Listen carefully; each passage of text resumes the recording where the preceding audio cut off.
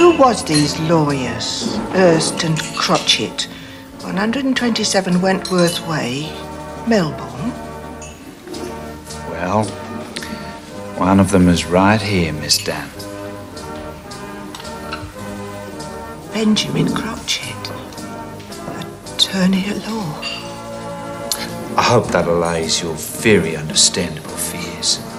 Oh, yes, indeed, sir. I didn't mean to doubt you. Now, Miss Dunn, to business. I do have to tell you that the house is in Chiswick. Ah, that's just over by Acton, isn't it, sir? No, Miss Dunn, it's in the north of England, near Carlisle.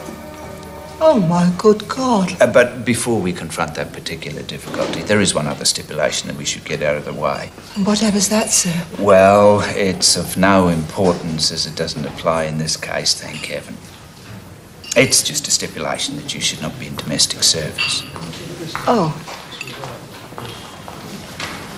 Whatever's the matter, Miss Dunn? I'm a cook, sir. Didn't they tell you at the house? My dear Miss Dunn, I had no idea. This is very unfortunate. Will I have to lose the money, sir? Uh, and the house, sir? Sounds ever so nice. Even if it is a bit out of the way. I believe I have it. We lawyers always know a thing or two. The way out here is for you to have left your employment before we met, But we have met, sir, I mean, and I haven't. Haven't you, Miss Dunn? Howard.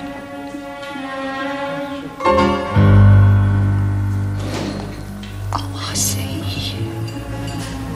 Yes. You left your employment this morning, did you not, before we met? Yes. I remember now. I did, as a matter of fact. There. Now, it is imperative that you take possession of the house by noon tomorrow. In order to do that, you must catch the night train from King's Cross. Oh, Go along, Miss Dunn.